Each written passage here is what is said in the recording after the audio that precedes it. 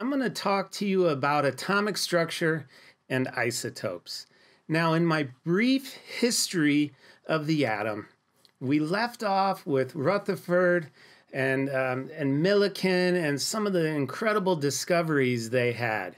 Well, it wasn't until about 20 years later or so in the 1930s that uh, James Chadwick was actually able to discover the neutron the third subatomic particle. See, Rutherford could never account for all of the additional mass, but uh, James Chadwick, using radioactive materials, was able to discover the neutral neutron. So, in this table here is a rundown of, of, of what you probably already know, but I need to make sure as we move forward into our discussion of isotopes. So, um, this atomic structure in the nucleus, we have the proton and the neutron, each coming in at one atomic mass unit. And then outside of the nucleus, we have electrons, which have a relative mass of zero. Okay, so here is the common notation for showing um, an atom, including its atomic mass number and its atomic number. Remember, the atomic number is the number of protons. So if we want to find the number of neutrons, what do you do? Well, all you do really is you take that atomic mass and you subtract the atomic number. And so if you look at lithium, its atomic mass is 7, and you subtract 3, you're going to get 4. So um, lithium has four neutrons on average. Okay, so that's how we're going to phrase that until we move into the second part of this video. Now, I'm starting to get pretty fired up because I know that we're going to get to do some mathematics in this video. Let's get a couple definitions down first.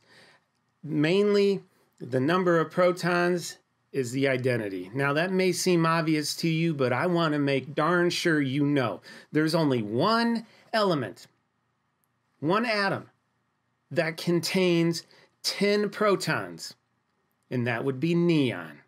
All right? If you change that number, you change the identity of the atom. Now, numbers of electrons can change. We know that already and numbers of neutral neutrons can also change. All right. And so that leads into our definition for what an isotope is. All right. So let's look at a little example first, and then we'll get those uh, remaining definitions down and move into some mathematics. Example one What is the atomic notation for chromium? An atom of chromium that has lost three electrons. Okay, let's do that. Let's do that real quick. So get out your periodic table, look. And what's the mass of chromium? 52. Okay, your periodic table says 52.00. And the atomic number for chromium, 24. And then it has lost three electrons. Okay, so it's it's given away three negatively charged subatomic particles, leaving it with a net positive charge. And we're going to write that as a superscript, just like that. Okay? All right. Now, isotopes, different forms of the same element. So if you think about that prefix, um, you've seen this prefix before. Okay? Iso isotonic, isotropic, iso um, enzyme, isometric, isobutane, isolation, isomer, isopod.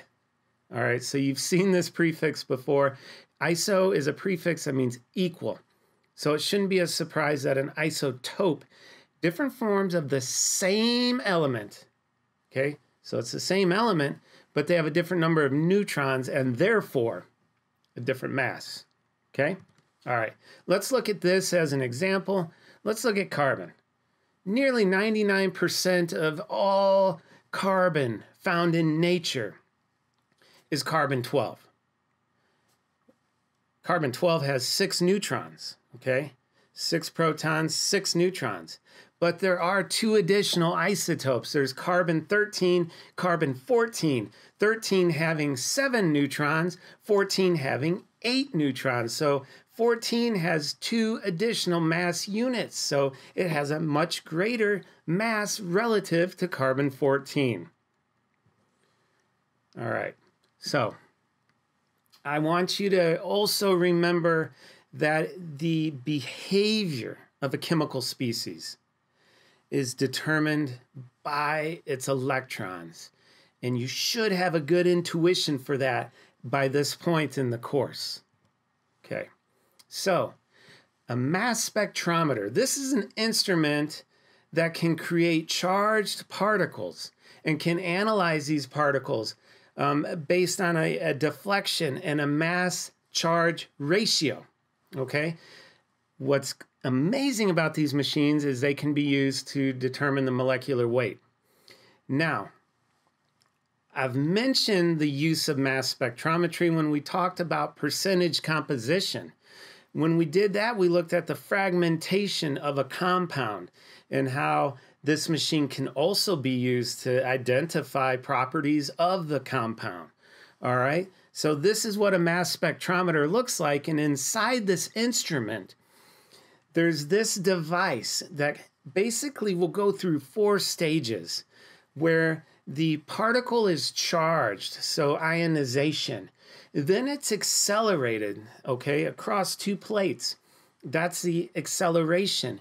The next stage is going to be a magnet causing a deflection. And the final will be the detection and analyzation leading to a mass spectrum. Okay, so if we look at this, um, we're we're going to find out now. It's based on two things: mass charge. If all particles are given the same charge, then the only variable is mass. So the most massive entities will experience the least deflection. So they're going to be way out here. The less massive particles are going to have a greater deflection, and we'll find them over here. So this is a really incredible machine, but it comes down to being about that mass to charge or charge to mass ratio. And so the greater that ratio, the more deflection occurs. All right, so two additional definitions here relative abundance and relative atomic mass. Relative abundance is the percentage of a particular isotope in nature. You see, not all isotopes are found equally. They're not the same abundances in nature. Okay? And we saw that with carbon. Carbon 12 was far more abundant, almost 99%. So this should make sense. Relative atomic mass is that weighted average of all isotopes of an element in nature. You ever wonder why you look at the periodic table and you say, well, lithium's 6.97 for the atomic mass. Why isn't it 7? Why, why all these weird numbers? Carbon 12.01. That's because those are the relative atomic masses. Those are the weighted averages. Those are the result of a mathematical computation. And we're going to get to do some good math here coming up. All right. Let's look at a mass spectrum here. So this is a mass spectrum. Remember, this is the end result of that mass spectrometer, and the detection will produce something called a mass spectrum. This is a mass spectrum for zirconium. I want you to note the one, two, three, four, five spectral lines on this spectrum. On the y-axis, you'll typically see relative abundance or relative intensity. All right. Uh, across the x-axis, we have the the mass. Okay. All right. So looking at this, you should be able to say if when I ask you how many isotopes are there for zirconium, you're going to say there's five isotopes for zirconium. All right. And the mass spectrum shows us that. And I can see that some are more abundant than others. Okay, so take a look here at their relative abundances. All right, zirconium 90 is over half of all zirconium in nature is zirconium 90. And then zirconium 96, there's less than 3% for zirconium 96. So, what you're going to need to do with all these is you're going to need to multiply the mass by the percentage, and that percentage you're going to express as a number with a decimal. All right, 50% is 0.5.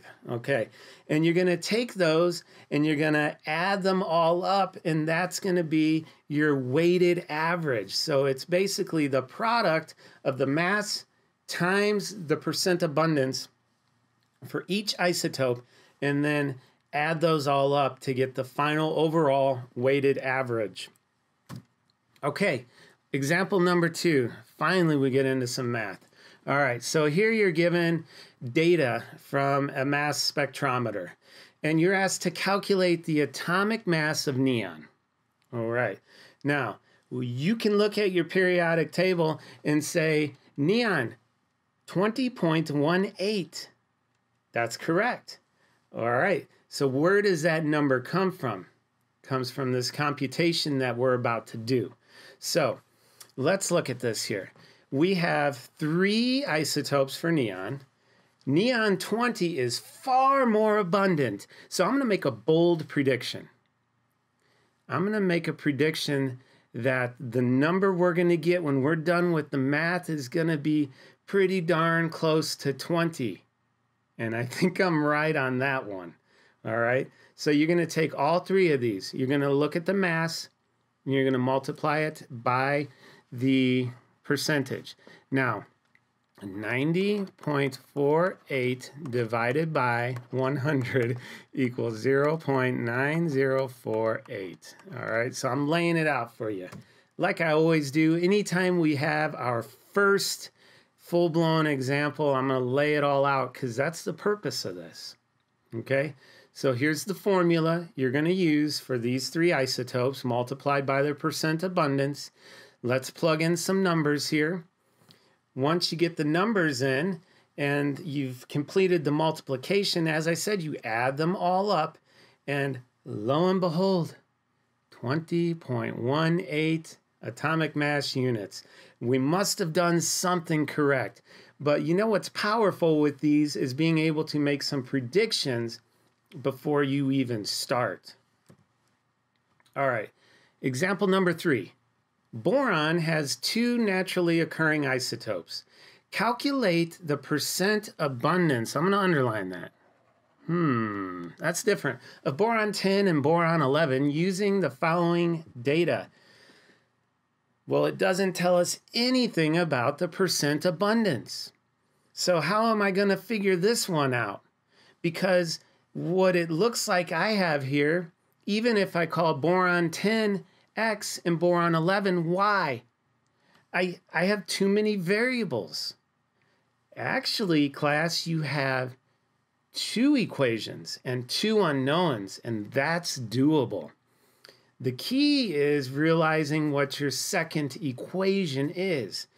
And I've alluded to this. We've done percentage composition percentage yield, percentage purity, and now percentage abundance. And a percentage is a number out of 100. Okay? So if we call boron 10x, we can call boron 11 1 minus x because this is a number out of 100. If you're still not seeing it, if we take the x and y we can say x plus y equals 1. Now, rearranging this, it becomes very evident that y is equal to 1 minus x. So then we can plug that into our expression. Okay, let's look at our, um, our plan again here. The mass times the percent abundance, don't forget. We don't know the abundances, so we're going to be using our x variable and 1 minus x, and we're going to plug those in. Then you're going to be using the distributive property of multiplication. Rearranging mathematically, combining like terms to get your final answer for x, but we're not done yet. x was boron 10. This problem says abundances for both. Okay, no worries. 1 minus 0.2 equals 0.8. All right, and that makes sense. So one is 20% abundant, one is 80% abundant. Now, time to make a prediction. Boron 11 is way more abundant. And so, prediction being atomic mass, or confirmation being rather, my answer should be skewed toward 11. All right, and you see that here because the atomic mass of boron is near 11. It's a little below because boron 10 is pulling it down, but boron 10 is uh, only 20%. So, this strategy, this tactic, I've implored you to use throughout the course. It's a good way to double check things. Make some predictions about what your numbers should look like. And if they deviate from that, you can go back and double check because you might have made an error. All right, so we have had a discussion here that relates the relative abundance of isotopes to a particular element and the atomic mass of that element. There's a problem set that corresponds to this video, and I will see you guys in class.